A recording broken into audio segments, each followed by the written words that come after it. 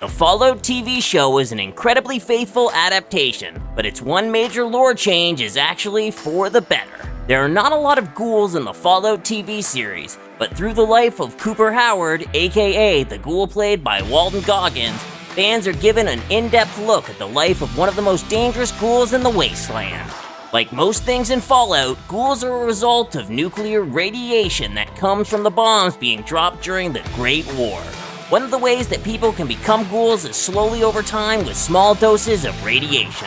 This results in a ghoul that looks more like the ghoul from Fallout or other ghouls from the games who still look more like a person rather than a decaying corpse. The other way that the games have people turn into ghouls is people who are relatively close to a nuclear explosion or at ground zero of a huge radiation event. This creates some of the most decaying looking ghouls, much like Lucy's mother in the finale of Fallout. One of the biggest downsides of being a ghoul, besides the radiation, the decaying features, and being hated by society, is the chance to become feral.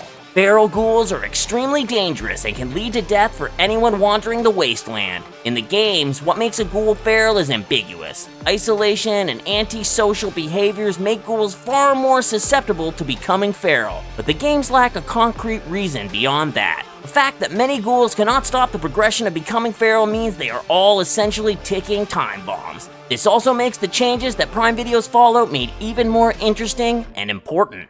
The big change that Fallout makes is that the ghouls can actually stop the process of becoming feral. Cooper Howard's The Ghoul is shown continually taking an inhalant that seems to revitalize him. When he finds a huge stash of this drug at the Super Drug Mart, he becomes elated, knowing it will help him survive for a very long time. The ghoul has stayed alive for over 200 years, likely one of the longest surviving ghouls in the wasteland, and he has lived a long time in isolation. By taking his medicine, the ghoul has maintained his mental well-being and has become a huge threat to Vault-Tec.